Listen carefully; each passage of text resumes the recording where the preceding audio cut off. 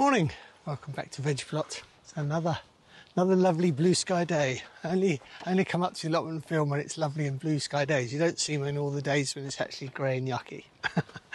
but um, yeah, if you ever wonder, my goodness me, it's always blue skies in Cornwall. It's not. Um, anyway, I'm up at the allotment today. Uh, I've got these dahlia stakes. I don't know if you've seen them in your garden centres, used for um, holding up the dahlias when it gets a bit windy and so on and so forth. But I use them in the polytunnel to make my shelving racks. But as I don't need those at the moment, I brought them up here. I've got a structure to make because I want to get these peas in. If you remember, these are the uh, pea seeds I bought from that Asian food shop, uh, which I've got some growing up. Uh, the allotment we'll have a look at in a minute. So they've got to go out. Uh, I've got some more dwarf French beans. You can still sow these um, and they will um, produce beans in time before winter if you're here in the UK. So, um, well, I guess that depends on where your first frost is, but for me, these should be fine. Uh, and then finally, we've got some Trail of Tears beans, uh, which I was kindly given a few years ago by a friend on Instagram. And yeah, these are all good. These are a climbing bean if you haven't grown them uh, like a black bean inside a green pod, and you can either dry the beans and use them through winter in stews and things, which is very nice, and soups, uh, or you can pick the pods young and eat them green, just like a French bean. So, yeah, hopefully, going to get all of this lot in today. Right, I'm going to get things together. I'll go and build this structure and get planting. I must admit, I'm actually winging this a bit today. I just sort of, I don't know about you, but I get to the allotment and I just uh, I have a plan in my head for sort of what I want to do, but I haven't necessarily ever done it before. So I've never used these before up on the plot for this. But I figured if I put one at each end of this bed, um, and then I can use bamboo canes to support them, bang them in, etc., etc. And then I can put in some um, plastic trellisy work I've got, string that up, and then hopefully peas can grab that. Right, let's try and figure this out as we go along, shall we? Tends to be tends to be how I do things.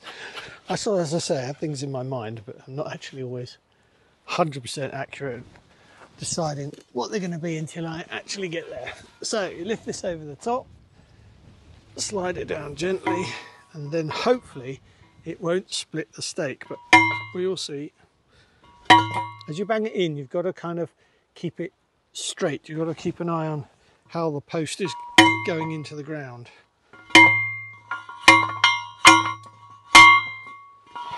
Like that.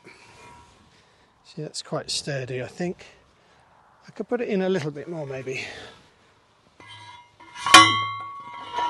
But yeah, that isn't going anywhere. Right, so do another one at this end. There we go. I think that's about the same. Good. Right, now we need to get some string in and then some canes and then we'll get the wire attached. Got some string. So the idea with this is, is to unravel it all the way along and thread it through the top holes and then tie it up to the post at a certain height so it hangs. So that's the, the next idea. So first thing is we take the trellis work here and we just hold it against the post and then a pair of secateurs. I'm just going to mark how high this one comes to. And then I'm going to tie the string just where that was.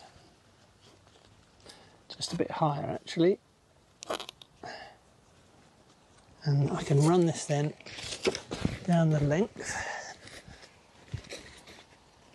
That'll give me a length for how much I need. Right. And if we cut that off a bit longer, I've got the penknife today, so I've got to use got to use the secateurs. Right, and then just thread through each one of these holes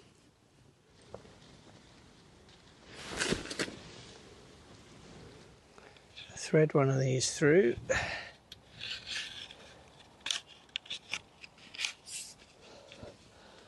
that in there and lined up and just poke that in just to keep it upright for the minute.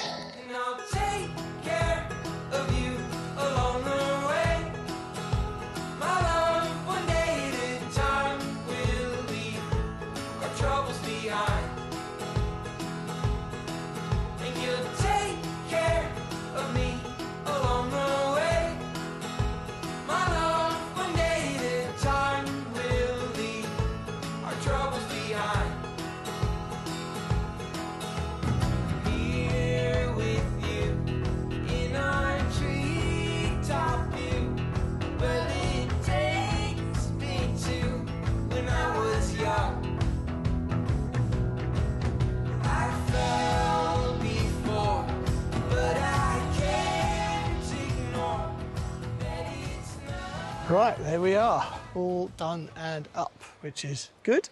Uh, you can see where I put in these sort of uh, extra braces on these, stops them blowing around. Where this one, which doesn't have one, it blows everywhere, so I've got to get another bamboo cane for that. But yeah, they're all in. I think what I'll probably do, because these are taller, I think I'll probably try growing the um, uh, the beans up these uh, and the peas on this one because they're a bit shorter and I don't quite know how tall they get yet so I might not have to put up extra trellis work but yeah quite pleased with that. Okay right let's go and get some beans and uh, and get planting. And I think somewhere around here I've got a trowel. I need that. Handy trowel. And good to give them a good soaking before they get in the ground first I think. We'll do them both. Give them a good soaking. Give them a few minutes to absorb all that and these. And then we'll come back and uh, yeah, plant, plant them out. Right, while that's soaking, perhaps we should go and harvest something. Let's go and get some, um, go and get some broad beans, shall we? Got the harvest harvest basket here. Uh, yeah, this is the one I picked earlier. I don't know if I opened it up. I can open it up a bit more now. Looks good, don't they? They're beginning to split actually. Um, yeah, I, I, like to take the outer skin off and then they're really lovely.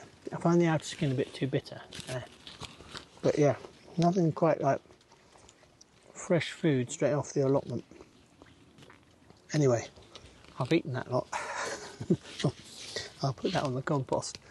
But yeah, anyway, the way I get these out, Don't know if you've ever done this before, just pinch, nip along the back, then give the outer casing a squeeze, and it just pops out. Yeah, really delicious raw and good in salads and things like that. Excuse me, talking my mouth open. I just, uh, you can just pull them off like this, or if I get the secateurs back in a second, probably do less damage to the plants if you use secateurs and just nip them off just before the stem. Just open them up occasionally just to check they're still good size. Yep. So these beans are broad beans um, and uh, I think they're called ratio yeah, ratio. They were sown on the 25th of March this year. And um, yeah, I tend to do spring sowing with mine. If I do autumn sowing, they tend to get so trashed in the winter that I think I've said it before that they basically are no good. So I don't bother with the autumn sowings.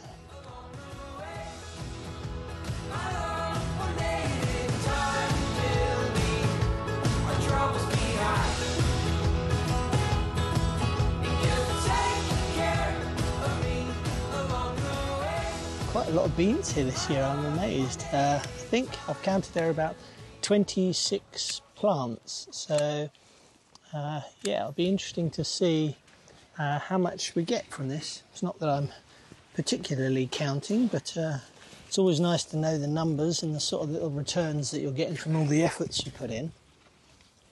A lot of these just perfect. I don't like them too big when they get massive. Not a great keen on really big, chunky, broad beans. They're find them a bit flavourless. So yeah, I like them when they're a little bit smaller. Yeah, a few more, a few more in here. So I'm just going to get on. harvest all these, show you what we get at the end of it.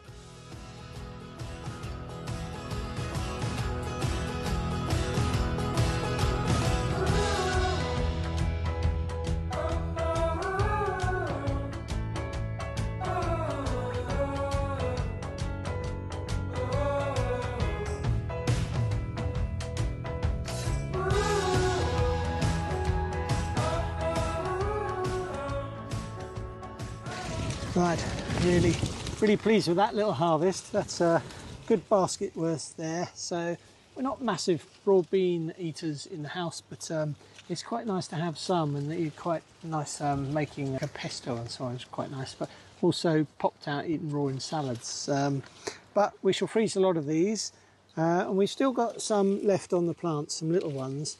And I've also I've left some on this row here, as you can see, so I'm going to save these for seed for next year, these few on this row. Uh, and any plants that haven't got any, they'll all be snipped down and uh, cleared. So next video, perhaps be clearing out this bed. We shall see.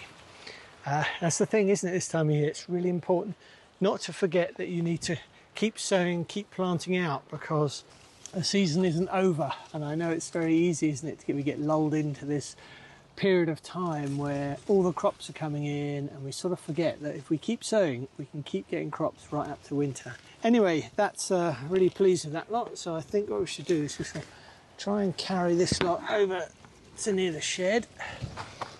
And uh, and then i think as i said we will go and get put these in the shade. I find it's best to keep stuff in the shade. And we'll go and get some of these artichokes uh, because I want to have all these out today. I've got absolutely loads at home. I'll try and cut to it now, just show you a few of the heads we've got. They're not purple uh, like these are, but they're really prolific this year. But anyway, yeah, so I've got a few of these, but I don't want these up at the plot anymore. I want what I really want is the plants to recover. So by cutting them now, what it means now is that the plant it's not going to put any more effort into those flowers. And hopefully, if we're lucky, we might see some shoots come up from around the base a little bit later in the year. Anyway, just leave that now. And I think I've got one more tiny one here, uh, which looks like it's going to open actually. So I think I'll have that one as well. Give this plant a chance to recuperate. And hopefully, as I say, down in the bit later in the season, if we keep it watered, we should see new plants springing out for next year. One thing I didn't mention about artichokes is, and I don't know if you get it where you are, is that they can collect a lot of sort of critters in them like earwigs and things. So it's always best before you go home just to sort of take off the very bottom leaves, bottom outer leaves, and just wiggle around and make sure you, you've got all the earwigs out. Anyway, right, let's just grab all these and we'll take them up to the bench. Right, let's just put them there. So that's pretty good. Right, I think what I should do now is get these beans in and the peas, and then I want some more kale and so on and so forth, and some beetroot, yeah, to take home as well. Right, let's get planting. Right, me just uh, grab these. Oh, oh, careful, there's actually quite a bit of water in this tray still. I don't want to spill this all over myself. Right, I think the first thing is to put in will be the Trail of Tears beans. You can see they're absolutely desperate to get going. I think they've also they perked up with that bit of water, which has really helped. Uh, these deep root trainers are great. You can see the roots coming at the bottom. So, as like always, just uh, just put your finger in there, that hole at the bottom, push, and it just loosens them. And then I think I've sown one or two per per module. So if we just take one out, have a look yeah, you can see you've got really, really nice roots on these. Not too congested yet, but desperate to get out the bottom. So when you um, when you plant them, just got to loosen them up a little bit, and then put them in the hole. Uh, I'll dig them in, water them in, and hopefully, I think I've got about uh, 40 or so here. So yeah, I should put them all down the back edge, and then see if we've got any we can put on this front edge too. Yeah, so what I'm going to do is uh, take the beans, hold them by the roots is probably best. and then just dig a little hole and pop them in. And uh, yeah, I shall just put them in a little bit. I shall leave it sort of an indentation so I can water them. Actually, I'll just go and get a watering can. Yes, one I filled up earlier.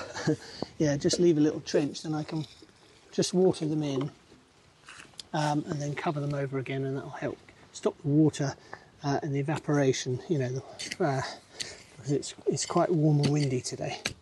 Right, let's get the rest of them. I'm not going to pop them all out like I sometimes do because uh, it's so hot that uh, the actual wind might damage the roots. The wind and the sun might damage the roots. So I'm just going to pull them out as I need them and put them reasonably close together and then just pop them in. And then, as I say, just give them a water and that should be good to go. Right, I'm going to get on with this and I'll catch up with you when they're all in.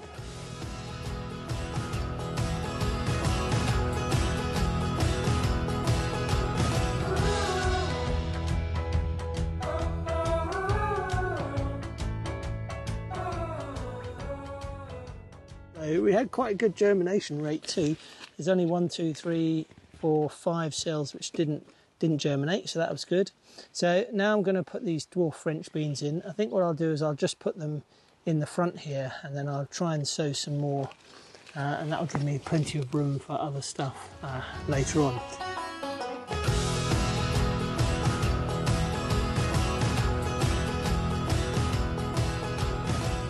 So that's the beans in which is all good. Right, let's go and get these peas because I want to get those in as well before they uh, before they go too wild. They're quite wild at the moment. They're probably very matted together, you know, tied up together to support themselves. But we'll see how they go. Try and get them uh, lifted up with you. You're going to get a close up now, and put them down here because yeah, they're going to go in this bed here. I think I'll start this end up where you are. I was just going to have a look at the roots actually because these are, as I say, quite, quite, um, I wouldn't say pot bound, but they're beginning to mat themselves together. But you can see the roots all coming out the bottom. I think these are well and truly ready to go out. So I pop one out. Try not to tear it, break it, but to tear some of the tendrils. But yeah, roots look quite good on these. So I shall probably just crack on with these. You don't want to watch me plant a load of old peas, do you? Um, actually, yeah, you can see the pea there at the bottom. Yeah, that'll focus on that. Anyway, yeah, so I shall crack on, get these done, catch up with you when they're finished. No, well, all in the ground. right, where's the trowel? Yeah, these were sown on the 9th of June. Yeah, so not long ago. I think the main thing about peas is, if you uh, think of planting them out now, is pea moth.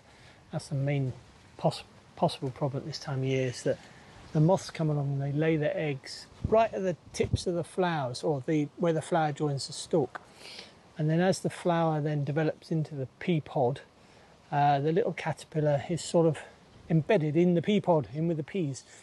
Um, so yeah, that's kind of how it happens. And then obviously then you get the odd caterpillar in your pea pod, which is always disgusting, isn't it?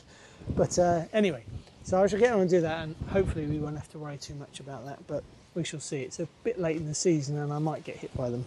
Right, that's uh, the peas in as well. Let me just show you. Uh, pleased with these. Uh, I have no idea what they're going to be like, as I said before, but they're all in, and I think that's about 80 uh, cells, and most of them are two or three peas per cell, so there's quite a lot in there. I am just hoping, as I said before, that the um, yeah the pheasants don't get them before I get a chance to come back and put some netting round. But having said that, I did nip uh, some tips off and eat them. They are delicious, really good. So I might actually sow a load more of these at home and just use them as pea shoots, which is probably a much better way to eat them. So now I think the last few things I want to do is get some a couple of um, beetroot, some of these golden beetroot, and also some more kale because we've eaten what we had at home. But yeah, let me show you. There's a, I think there's one I spied under here. It's um, yeah, look at that beauty. Yeah, lovely. Right, so that's one one beetroot. I think I've got another one down here. And it's interesting, what with all this dry weather, the ones which have done the best are the ones which aren't actually being grown with any others. You know, a lot of the others are multi-sown and they really are, you know, competing for moisture, I think. But these two, absolutely cracking. Love these. Right, let's just put that back on there, keep the critters out, and go and put this on the bench. I, well, actually, not on the bench. I've had to hide it all around in the shade around the back here. Let's just put that there for a minute. And the other thing I want is some kale, some noises that you all associate with things, don't you? this breaking of uh, leaves off the kale is something I love about fresh food on the allotment. Right, let's put that there. That one back. Now I'll take these. Lovely, aren't they? Fantastic. Right, take these, put them in the shade as well. Oh, brilliant. Well, that's uh, been quite a lovely morning. It is glorious day. Let me just spin you around. It's beautiful up here today. And all the uh, poppies, look, they're all coming out in their glory. They love it in the sun. They close at night and then they come out when the sun's out. I've just moved actually all those crops because I just wanted to get them out and have a quick look at them. So yeah, here are the broad beans. These are looking good. I'll enjoy podding those a bit later. uh, the globe artichokes, these are the uh, purple ones. And then the two golden beetroot, which you can eat the leaves. Did you know that? You can eat the leaves. I'm sure you do. You can eat the leaves of beetroot, and they're very tasty actually. Uh, and then we've got some of the lovely Cavolo Nero kale, dino kale, which is doing really well at the moment. Uh, and then I've picked these few leaves from the cauliflower just to see what they're like. So I'm pretty sure you can eat those. So yeah, really pleased with that little harvest this morning, and we've had a had a good day up here today. Okay, wherever you are in the world, hope you have a lovely weekend. I'll see you soon. Bye for now.